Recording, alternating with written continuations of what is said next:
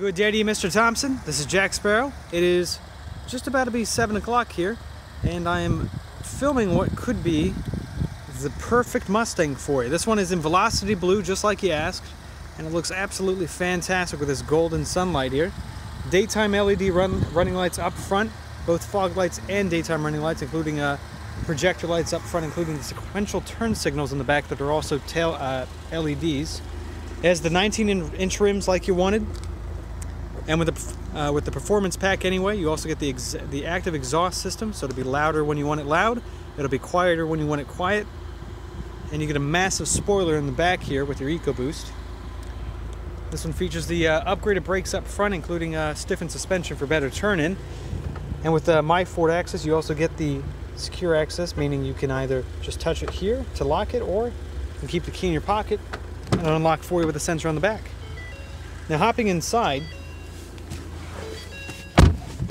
you can immediately see you're in something special. From these metal switches here to the top grain leather steering wheel, it feels luxurious. It feels more like a luxury car than the Mustang has ever felt like.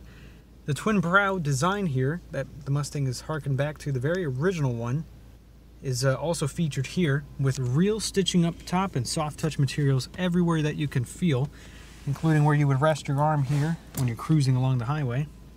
You also get the traditional speedometer and rev meter here, with an exhaust mode such as quiet. I've already demonstrated this to some other folks, but you can already kind of hear a difference in normal and quiet.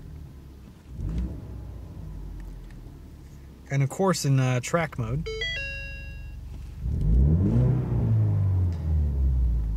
Definitely a bit different. You get real gauges up here as well, including an oil line and a uh, vacuum gauge that's actually real. It goes both into the positive and the negative.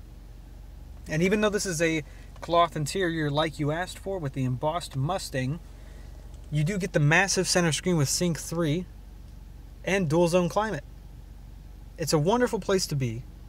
I think I found the Mustang for you. Let me know what you think.